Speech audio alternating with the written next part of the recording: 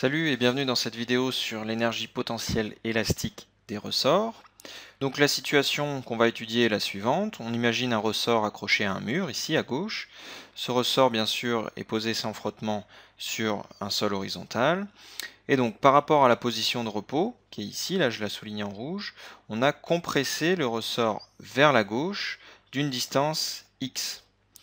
Euh, pour des raisons de signe, on va ici considérer que x est positif vers la gauche par rapport au zéro initial ici, et négatif vers la droite. Donc si je rappelle la loi de Hooke, la loi qui nous décrit la force de rappel du ressort, c'est F qui est égal à moins K, donc K c'est la constante de raideur du ressort, fois X, donc X c'est le déplacement, la compression de ce ressort.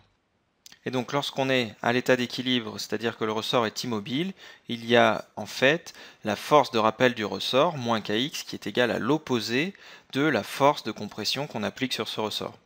Donc on peut se demander maintenant quelle est l'allure de la courbe de la force de compression FC, donc je vais la tracer dans ce graphe en bas, en fonction de la distance de compression x. Alors je rappelle qu'ici, avec les conventions qu'on a choisies, on a choisi x positif vers la gauche, avec le 0 qui est à l'état de ressort non compressé. On a la force de rappel F égale moins kx, avec x qui devient positif vers la gauche, la force de rappel est bien orientée vers la droite lorsqu'on comprime le ressort. Et donc la force de compression, kx, puisque x est positif et k est bien sûr positif, est elle orientée vers la gauche. Donc si on revient au graphe de cette force de compression Fc en fonction de la distance de compression x. Donc on a une origine ici sur le graphe qui est 0, c'est-à-dire que si j'applique une force nulle, à ce moment-là, je vais comprimer de 0 mètres. Donc on a un premier point qui est aux coordonnées 0, 0. Après, si on imagine que je comprime de manière infinitésimale, c'est-à-dire que je vais mettre une force vraiment très faible, et eh bien à ce moment-là, le déplacement sera lui aussi extrêmement faible. Donc on peut imaginer un point tout tout près de l'origine du repère, ici. Par contre, ensuite, si je déplace de 1 mètre, on va mettre 1 mètre ici, donc ça peut par exemple nous amener, mettons, jusqu'ici, 1 mètre. Donc si je comprime le ressort de 1 mètre, quelle force de compression je dois appliquer pour le maintenir dans cette position de 1 mètre? Un FC, on a vu que c'est égal à K fois X. Si X vaut 1 mètre, ça veut simplement dire que la force de compression vaut K. Donc on a un point ici, 1 mètre, une force de compression de K. Si maintenant je veux déplacer le ressort de 2 mètres, on va arriver ici à 2 mètres, quelle est la force que je dois appliquer? Ben, Si x vaut 2, à ce moment-là, la force de compression vaut 2K. Donc ça va nous faire un point quelque part par là, ici, à une hauteur de 2K. Donc là, je pense que tu commences bien à comprendre que, en fait, il y a proportionnalité entre la force de compression, Fc, et la distance sur laquelle on comprime ce ressort, x, et que le facteur de proportionnalité, c'est k. Et donc en fait, ce graphe de la force de compression en fonction de la distance par rapport à l'origine au repos du ressort, donc en fonction de x, c'est une droite que je vais dessiner ici, Là voilà, donc chaque fois que je veux comprimer un peu plus le ressort, donc chaque fois que je veux augmenter cette valeur de x, donc je vais comprimer le ressort vers la gauche, et eh bien on va avoir une force qui proportionnellement sera un peu plus grande. Donc si je veux comprimer mon ressort de 2 mètres vers la gauche, il faut que j'applique une force de 2K. Donc je peux appliquer une force qui va augmenter progressivement jusqu'à la valeur de K, où je peux appliquer une force de compression de 2K directement, auquel cas l'accélération, le ressort va se comprimer beaucoup plus vite, mais on arrivera bien sûr au même état d'équilibre à 2 mètres. Donc quelle est la pente de cette courbe en vert ici? Donc pour rappel, la pente c'est égal à delta y, donc la variation de l'axe des ordonnées sur la variation de l'axe des x. Donc par exemple ici, si je regarde ce qui se passe entre ce point et ce point. Donc je passe de k à 2k, donc la variation selon y c'est k, et j'ai passé, je suis passé pardon, de 1 mètre à 2 mètres, donc la variation c'est 1, k divisé par 1, donc la pente c'est bien k. Donc on a une droite de pente k. Donc on peut se poser la question, quel travail j'ai dû appliquer pour arriver à comprimer le ressort jusqu'à une certaine valeur. Mettons, on va l'appeler x1.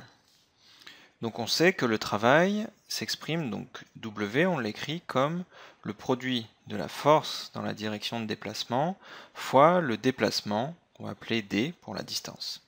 Donc si je déplace un tout petit peu, par exemple ici, mon ressort vers la gauche, et je le comprime très légèrement, quelle force j'ai dû appliquer? Bah, J'ai dû appliquer une force très petite qu'on peut lire ici sur l'axe à gauche.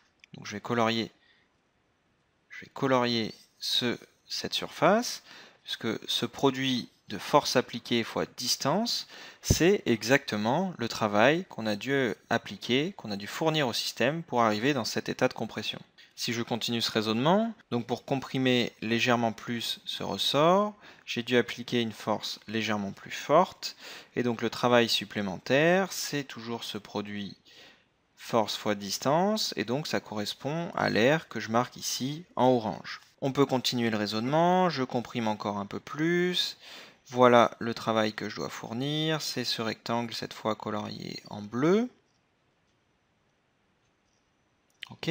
Si je veux aller jusqu'à 1 mètre, je rajoute bien sûr un travail supplémentaire.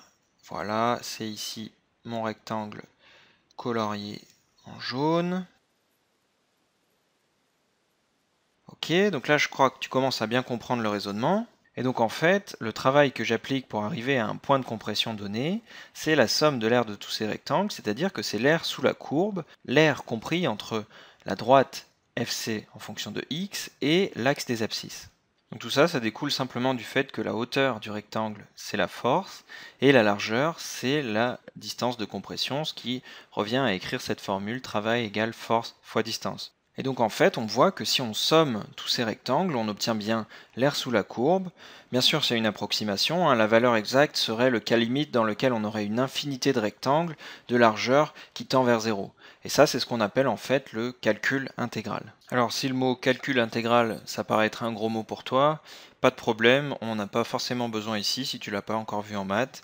Ce qu'il faut retenir, c'est que le travail qu'on applique, c'est l'air qui est sous la courbe, et cet air, on peut le calculer dans une première approximation comme la somme des rectangles que j'ai dessinés ici.